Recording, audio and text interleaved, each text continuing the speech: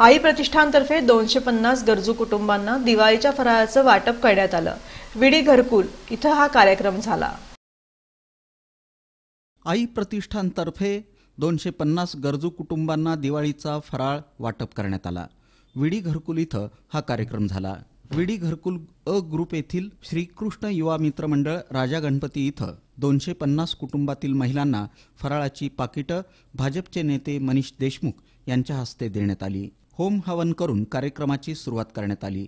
या प्रसंगी व्यासपीठावर भाजपचे नेते मनीष देशमुख उद्योजक वैभव पाटील आई प्रतिष्ठानचे संस्थापक अध्यक्ष मोहन डांगरे उपाध्यक्ष योगेश डांगरे सचिव सचिन हिरेमठ सृष्टी डांगरे भाजयुमोचे सागर अतनुरे अक्षय अंजिखाने यांची प्रमुख उपस्थिती होती. मनीष देशमुख म्हणाले की समाजातील गरजूंची अधिकाधिक सेवा करण्याचा प्रयत्न प्रत्येकानं करावा. यातून मिळणारं समाधान शब्दातीत आहे.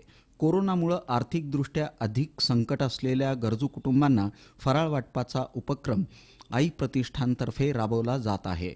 हे कौतुकास्पद आहे. याचा आदर्श सर्वांनी घ्यावा असं आवाहनही मनीष देशमुख यांनी केलं. खरं म्हणजे आता मोहन काकांनी जेवढं माझ्याबद्दल सांगितलं खरं हे माझं क्रेडिट नाही आहे किंवा मी एवढं मोठं कार्य त्यांच्या इतकं मोठं कार्य माझं नाही आहे. मी खूप लहानसा एक छोटासा कार्यकर्ता आहे. जे सुभाष बापू देशमुखांनी जे वटवृक्ष लावलेलं आहे लोकमंगल फाउंडेशनच्या माध्यमातून आम्ही एक कार्यकर्ता म्हणून आम्ही सगळेजण तिथे काम करतो.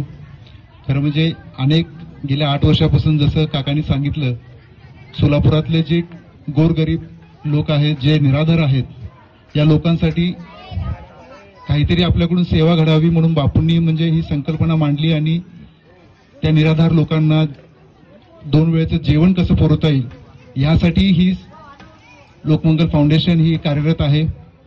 आज गेले आठ वर्षापासून आम्ही दररोज न चुकता तीनशे पासष्ट दिवस हे कार्य चालू ठेवलेलं आहे. आई प्रतिष्ठानचे संस्थापक अध्यक्ष मोहन डांगरे म्हणाले की कोरोना महामारीमुळं हजारो कुटुंबांना आर्थिक झळ सोसावी लागली. परिणामी त्यांना दिवाळीचा सण चांगल्या प्रकारे साजरा करणं शक्य नव्हतं. अशा कुटुंबांचा शोध घेऊन आई प्रतिष्ठानतर्फे त्या कुटुंबांना फराळ वाटप करण्यात येत आहे असंही मोहन डांगरे या प्रसंगी म्हणाले. जवळजवळ अडीच हजार किती लोकांना अडीच हजार लोकांना रोज दुपारी बारा वाजता तीन चपात्या भाजी भात आणि आमटी हे गेली चार वर्ष जास्त. आठ वर्ष हे मोफत जेवण देतात.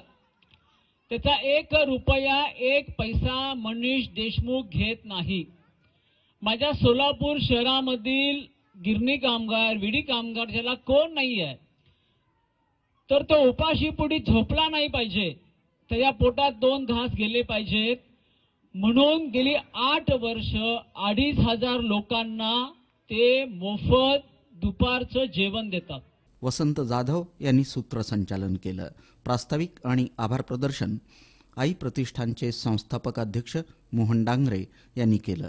यावेळी राहुल डांगरे प्रताप महावरकर सूर्यकांत जिंदम बाबू चिप्पा मधुकर पुट्टा आदींची उपस्थिती होती.